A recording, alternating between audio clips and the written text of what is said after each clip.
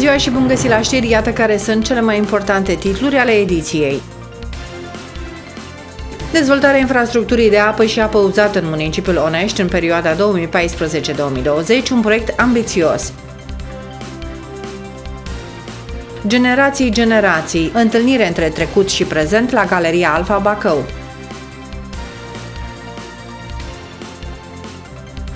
O casă s-a făcut scrum la Hemeiuș.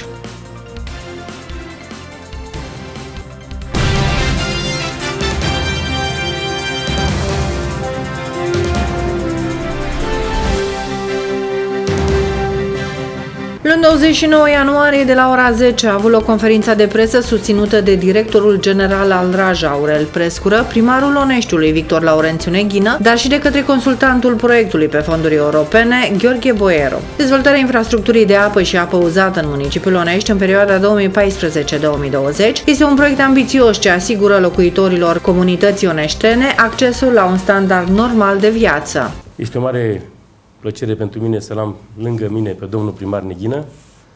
Să știți că este omul care ne-a ajutat foarte mult și, și datorită lui am reușit să facem un proiect de succes în Onești.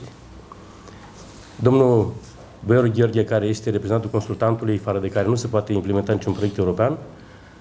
În sală sunt și constructorii, cei de la Laurențiu H, de la Oxa, colegii mei care fac o echipă foarte bună, vorbesc, mă refer la domnul Budeș Stelian, care este directorul Departamentului Finanțări Europene, domnul Borcan Alexandru, domnul George Dragomir și, nu în ultimul rând, domnul Bândar Cătălin, care este un om de ispravă și care face chiar treabă bună aici la primărie. În primul rând îl felicit pentru că face o treabă bună împreună cu primarul.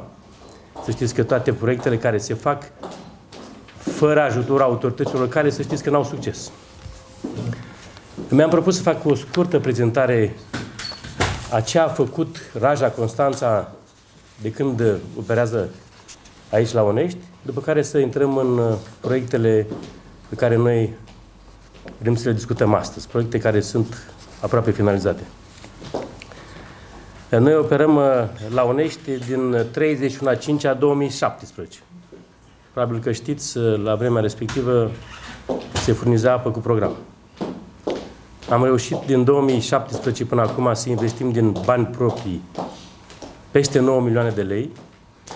În primul rând, am făcut un inventar când am venit aici, în acest oraș, și am găsit foarte multe nereguli, să zic așa, și am început să investim în conturizare, să investim în dotările din uh, laboratorul de apă care exista doar cu numele, în tot felul de utilaje, am reabilitat cuciurul, știți foarte bine că acolo arăta foarte rău, dar cel mai important proiect pe care l-am făcut noi a fost să uh, reducem presiunea la apa din rețeaua din orașul uh, Onești. Știți foarte bine că se lucra și cu 12 atmosfere la un moment dat, în zona mai, cea mai de jos. Și atunci a trebuit să facem reducerea presiunii la coborâre de la cuciuri, după care am pus 11 stații de hidrofor și funcționăm ca într-un regim normal și așa cum se spune și uh, toate cărțile tehnice, uh, cu o presiune până în 2,9 atmosfere. Pentru că la conducte foarte vechi și cu presiuni foarte mari erau foarte multe avarii, foarte multe pierderi. Într-un moment de mare sensibilitate și armonie între trecut și prezent, Galeria Alfa Bacău devine martora unei explozii de creativitate, idei și expresie, în cadrul celei de-a doua ediție expoziției de artă plastică contemporană, sugestiv intitulată Generații Generații. Evenimentul reprezintă o colaborare frumoasă între Școala Populară de Arte și Meserii și Complexul Muzeal Iulian Antonescu Bacău. Are loc uh, vernisajul unei expoziții, uh, ediția a doua, Generații Generații, o expoziție gândită de Școala Populară de Artă și în, uh, cu ajutorul Complexului Muzeal Iulian Antonescu, noi suntem practic gazdele, dar uh, o expoziție cu lucrări realizate de profesori și elevi, uh, nume mari ale plasticii românești, și ceea ce au dat spre alte generații. Și se vede pe Simeze că a fost un lucru bun. Și Bacău se laudă cu zona asta a profesionalismului, pentru că tinerii sunt educați de artiști profesioniști și au fost profesori mari și datorită lucrărilor, dar, uh, repet, și ceea ce au dat mai departe, ce au uh, insuflat uh, viitorilor uh, creatori uh, în uh, arta profesionistă, vis-a-vis de desen, de compoziție, de culoare și se vede pe simeze. Un început în forță, dacă am putea spune, al anului 2024, nu? Păi Muzeul de Artă, componenta Complexului Muzeal Iulian Antonescu, vine în fața iubitorilor de frumos cu expoziții variate cu, din patrimoniul nostru, cu invitați din afara județului, artiști mari, avem saloanele Moldovei, avem treabă și avem ce arăta iubitorilor de frumos băcăvani. O invitație, dacă e către, adresată către cei care ne urmăresc, să vină, de ce nu, să admire lucrările. O, da, au ce admira, repet, au ce vedea și ea și așa ca o mândrie locală că s-a făcut școală în Bacău și se face încă. Este o întâlnire între profesioniști și viitori profesioniști ai artelor plastice. Vreau să vă spun că suntem la a doua ediție, este o ediție de succes pentru că de data aceasta participă mult mai mulți participanți. Avem peste 135 de lucrări și participanți cred că vreo 40. Și cu această ocazie vreau să mulțumesc conducerii muzeului, complexului muzeal Iulian Antonescu, domnului director Alin Popa și domnului șef de secție Dionis Pușcuță, pentru că ne-a ajutat foarte mult în panotarea și aranjarea acestei expoziții. Totodată mulțumim și conducerii Consiliului Județean pentru că întotdeauna ne susține în toate activitățile noastre artistice. Și mulțumesc și celor care au participat, sunt elevi școlii populare, sunt profesori consacrați, sunt profesori și de la Iași și din țară, deci ne-au onorat cu prezența, chiar dacă ei au fost doar profesori universitari. Așa cum îi spunea și domnului Pușcuță, iată un început în forță în 2024, uh, un an, uh, să zicem, aglomerat din toate punctele de vedere, dar avem ce vedea, avem ce admira aici la galeriile de artă, nu?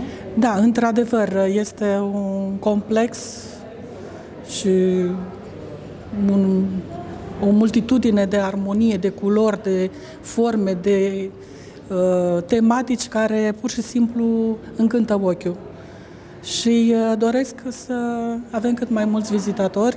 Expoziția va fi până pe 8 martie, așa timp că suficient? timp suficient să putem să admirăm această expoziție. O invitație către cei care ne urmăresc să vină, de ce nu, să le admire și să uh, se inspire așa, de ce, să pună și ei mâna să picteze, poate, nu? Da, să știți că pictura este o terapie, este foarte binevenită la orice vârstă. Cred că fiecare avem în noi acel ceva care trebuie să-l scoatem, să-l putem exprima, dacă nu avem altă posibilitate de a ne exprima, pentru că de multe ori ne închidem în noi pentru că nu avem curaj și nici încredere în oameni. Și atunci, prin pictură, putem să ne exprimăm. Și atunci ai așteptat și aici la galeriile de artă. Îi așteptăm cu drag și chiar și la școala populară, dacă vor să se înscrie. La noi nu există limită de vârstă. Avem elevi de la cel mai mic de 6 ani până la 80. Aveți așa cursanți? Da, avem așa cursanți și la toate activitățile care le avem. Uh, semn că arta e o, să zicem, o stare de spirit pe care o poți descoperi mai devreme sau mai târziu, nu? Da, sunt anumite lucruri care le descoperă mulți dintre cei care, mă rog, au trecut de o anumită vârstă și în felul acesta consideră că au făcut ceva, au realizat ceva.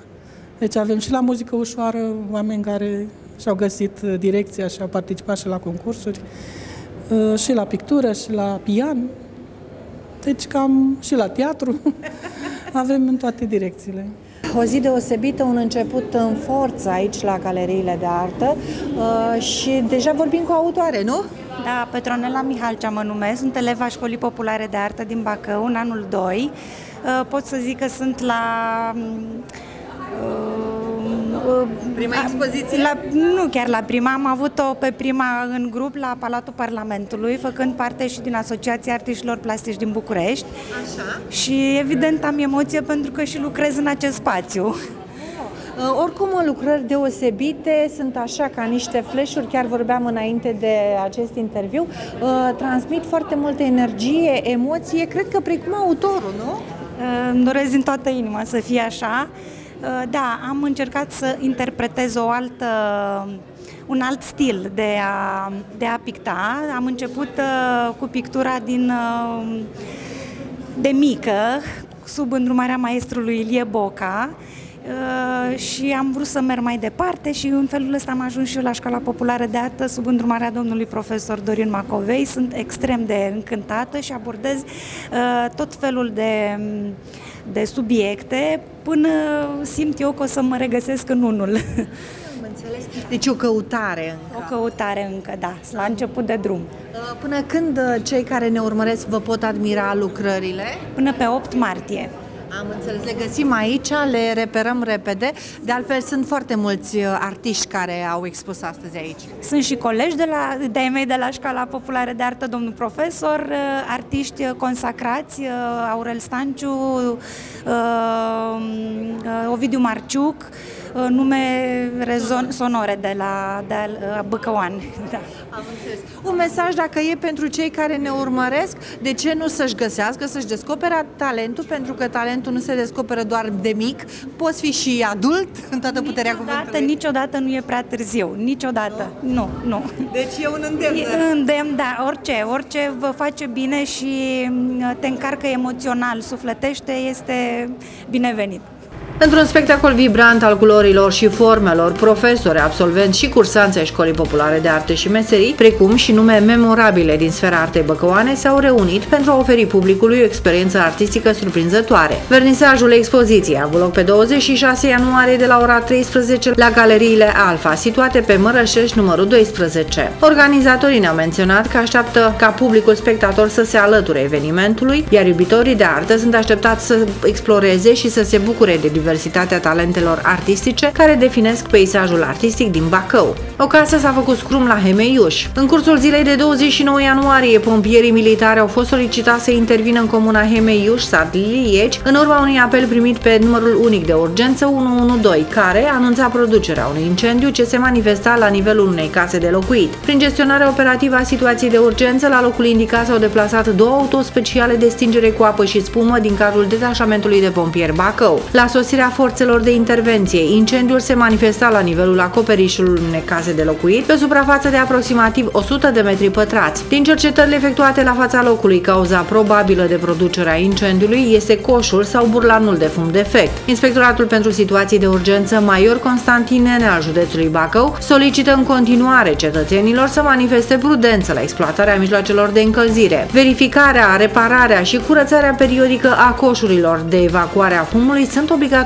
Ministrul Fechet în vizită la King Complex ESA Borzești. King Complex ESA Borzești a avut onoarea să primească o delegație importantă formată din ministrul mediului Mircea Fechet, alături de Narcis Jitaru, subprefectul județului Bacău și reprezentanți ai Consiliului Local Bacău și Consiliului Județean Bacău. În cadrul vizitei, conducerea companiei a avut ocazia să prezinte combinatul, echipa și perspectivele strategice de investiții din județ. Ministrul mediului Mircea Fechet a remarcat eforturile King Complex în direcția decarbonizării, valorificării energiei hidrogenului și dezvoltarea integrării energiei verzi regenerabile. Prin abordarea inovatoare a reciclării chimice a deșeurilor de materiale plastice, King Complex ESA Borzești demonstrează un angajament ferm pentru promovarea circularității în economie, în concordanță cu țintele europene. Iată că avem un exemplu de bună practică în care sunt puse în prim plan decarbonizarea, valorificarea energiei hidrogenului, dezvoltarea și integrarea energiei verzi regenerabile prin reciclarea chimică a deșeurilor de materiale plastice, astfel de companii promovează circularitatea în economie în concordanță cu țintele europene, a subliniat ministrul mediului Mircea Fechet.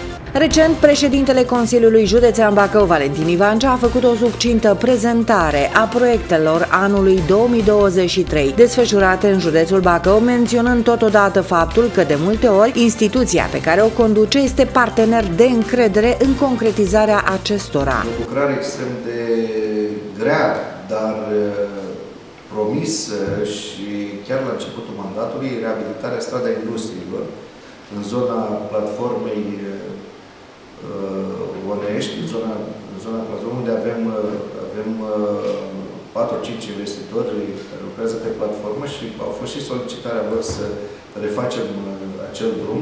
S-a finalizat uh, la finalul anului 2023 Este un drum uh, realizat uh, din, uh, din beton.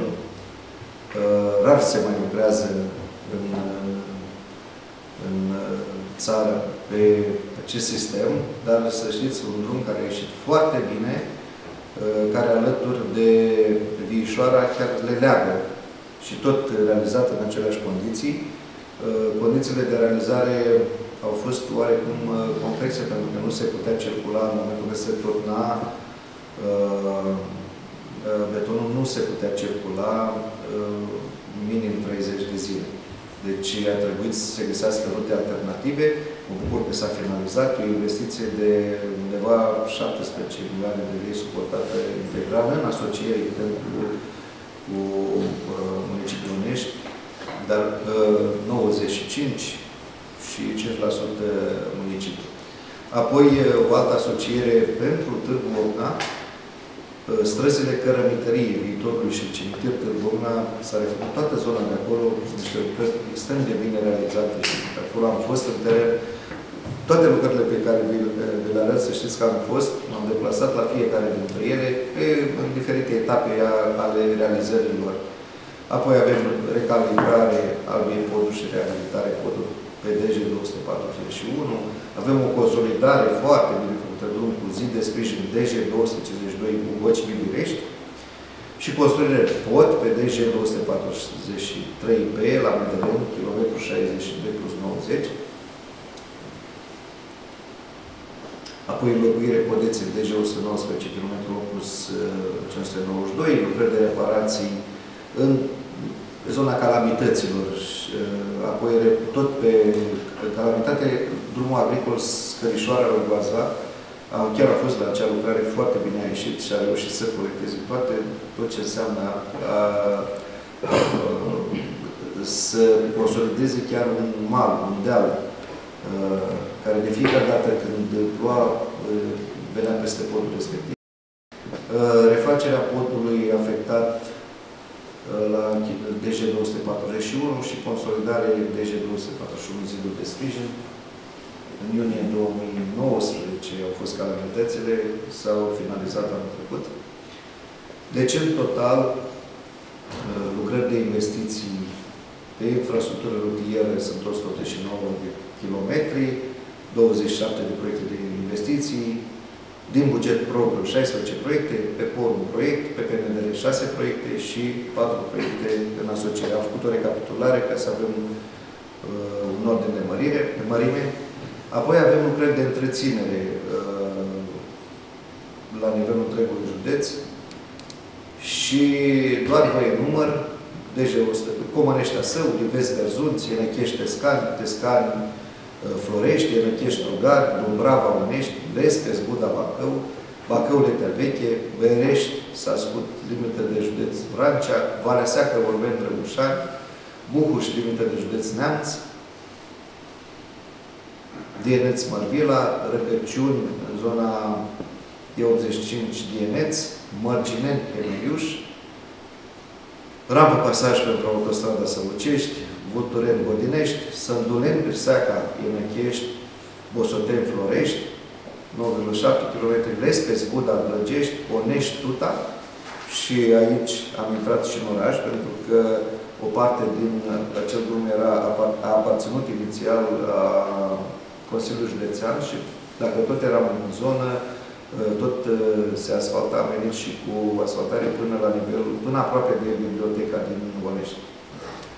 Apoi Târgu Ogna, deja 116, 5,2 km, să facem un total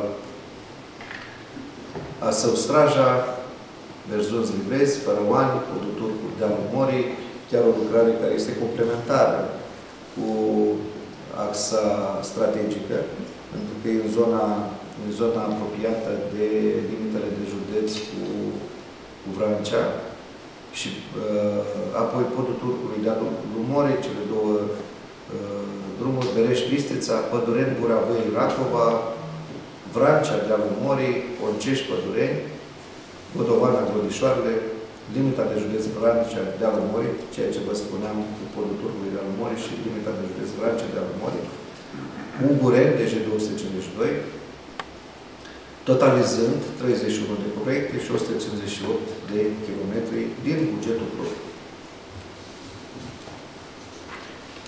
Ca, ca urmare, deci avem un total de 347 de kilometri refăcuți, o valoare totală 628, 697, 873 lei.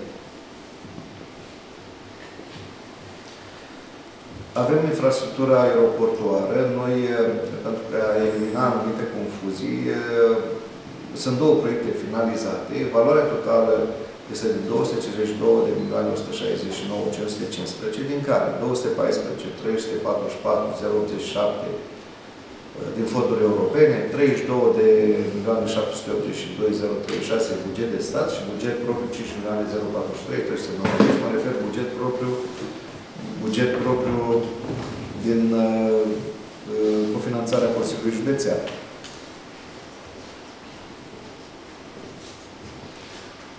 Și aici mă refeream, e o perioadă de implementare a, a pistei, infrastructura aeroportuară, creșterea capacității portante și modernizarea pistei de decolare.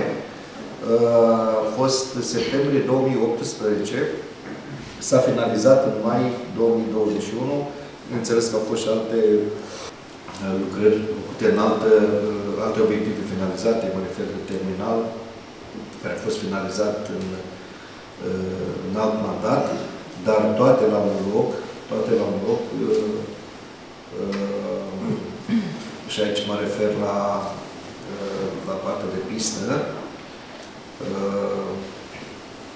din bugetul propriu 2%, din bugetul de stat 13% și 85% fonduri europene, 182 de milioane 967. Dăm la al doilea proiect și un proiect, creșterea gradului de siguranță și securitate la aeroportul internațional George Enescu, este extrem de important pentru că uh, acest proiect, alături de pistă, alături de terminal, toate desfășurate pe parcursul a, a 5-6 ani, a 5-6 ani, toate uh, vin acum spre uh, a certifica aeroportul pentru categoria 2, ceea ce înseamnă că se poate ateriza un sistem de siguranță uh, la zbor, se poate ateriza din ambele părți ale pistei și în condiții de uh, vreme nefavorabilă. Uh, acum câteva zile am fost cu domnul președinte al aeroportului Radu Bezmiuc și am văzut calibrarea acestui sistem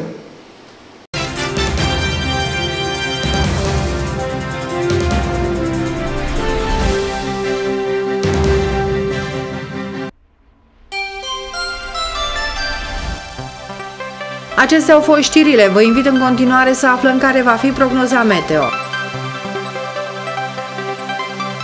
Marți 30 ianuarie, cerul va fi senin, maxima zilei ajunge până la valori de 6 grade Celsius, iar noaptea minima scade până la minus 4 grade Celsius. Miercuri 31 ianuarie, vremea se mai încălzește, cerul se menține senin pe tot parcursul zilei. Vom înregistra o maximă de 9 grade Celsius, iar noaptea minima scade până la minus 3, minus 4 grade Celsius.